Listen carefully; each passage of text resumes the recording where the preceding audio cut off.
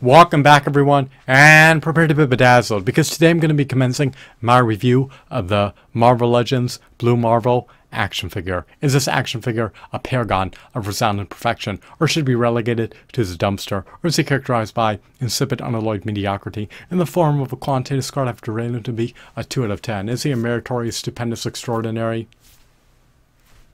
impeccable action figure?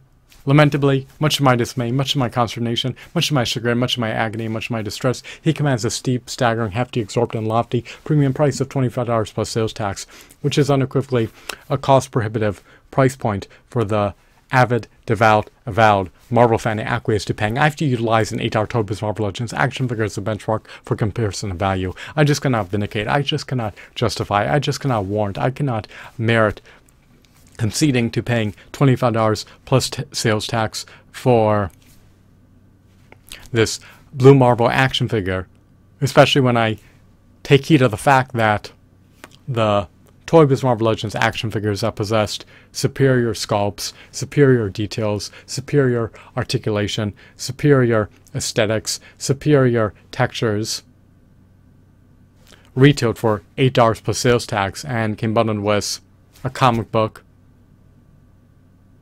as well as an additional item, such as a Build-A-Figure piece for a meticulously detailed behemoth of a 14 to 16 inch Build-A-Figure. In some contexts, certain Toy Biz Marvel Legends action figures did not come bundled with a Build-A-Figure, however they more than made up for it, such as by including another action figure in the packaging, such as Doop was Deadpool or Howard the Duck was the Silver Surfer, or by including a sizable diorama piece was the figure. There was so much value consolidated into the packaging when you relinquish $8 plus sales tax to buy Toy Biz Marvel Legends action figures. So, as per the comparison of value, I have to make an assessment and subsequently determine whether or not this action figure warrants its asking price of $25 plus sales tax.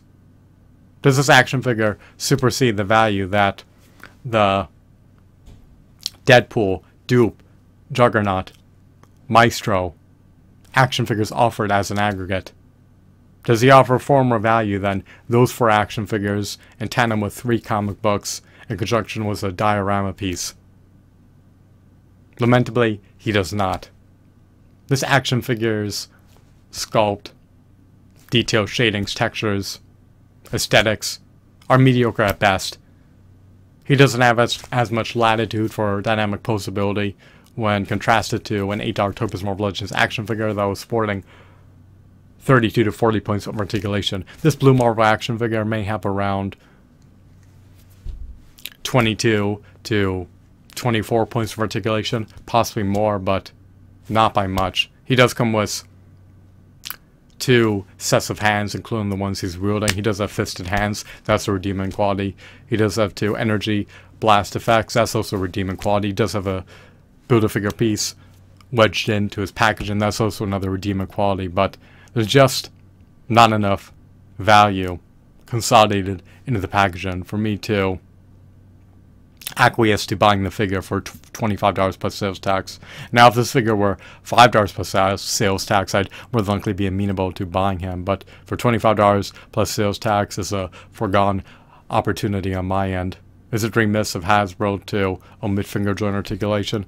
Well, I think it detracts from the value of their figures when they lack finger joint articulation and do not come bundled with fisted hands. Fortunately, in this context, this action figure does have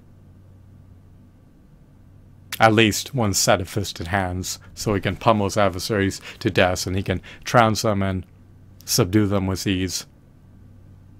I do not know how potent his attacks are. I do not know how deleterious his attacks are in melee combat. I'm assuming he can discharge energy blasts or um, infuse energy into his hands. I'm not well acclimated with the character. I do not know anything about him, and um, I'm curious what his lore entails. I do love his solemn, stern expression. He looks like he's poised for battle, but even if he's a battle-hardened warrior, for $25 plus sales tax, it is a foregone purchase on my end. So I'll just abstain, desist, and refrain from buying him. And um, lamentably, my final verdict in terms of my final review score appertaining to this figure is going to be 2 out of 10 because he just does not offer comparable value to an 8 Toy Biz Marvel Legends action figure, let alone three or four of them as an aggregate with their comic books and other items, such as a diorama piece in the context of the Juggernaut, or a Build-A-Figure piece for Apocalypse in the context of Maestro, or an action figure of Doop as well as a slew of armaments in the context of Deadpool. So,